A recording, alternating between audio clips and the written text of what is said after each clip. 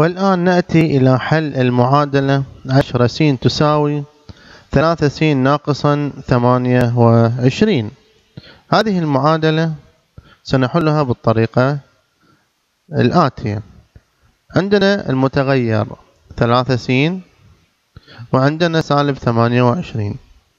سنتخلص من الثلاثة س ونتخلص من السالب ثمانية وعشرين.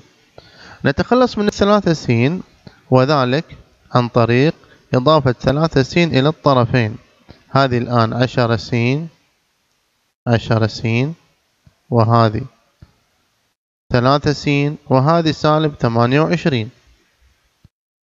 فالثلاثة س هذه سأطرحها من الطرفين سالب ثلاثة س سالب ثلاثة س نكمل الحل.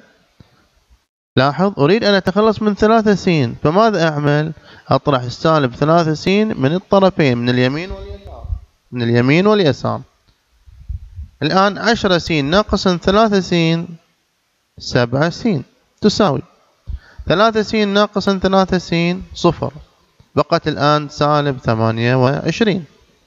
الآن نقسم الطرفين على كم يا شباب؟ نريد أن نوجد س لوحدها. هل نقسم على سالب 28 لا. ممتازين أنتم. ماذا قلتم؟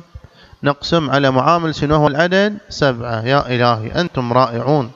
سنقسم الآن الطرفين على العدد سبعة وهو معامل س الآن سبعة مع سبعة ذهبت. بقي الآن عندي السين. هنا سبعة على سبعة بقيت سين. وهذه الإشارة سالبة. وثمانية وعشرين على سبعة يعطينا كم يا شباب؟ أربعة.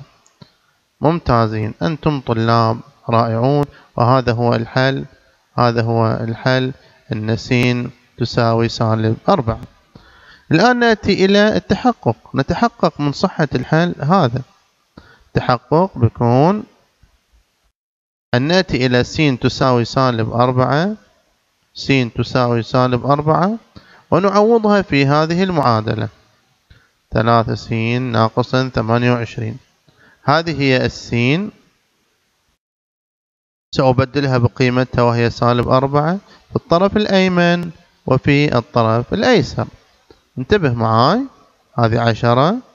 هذه السين في سالب أربعة وهذه الثلاثة وهذه السين قيمتها سالب أربعة سالب ثمانية وعشرين. الآن انتبه معاي. انتبه معاي يا بني.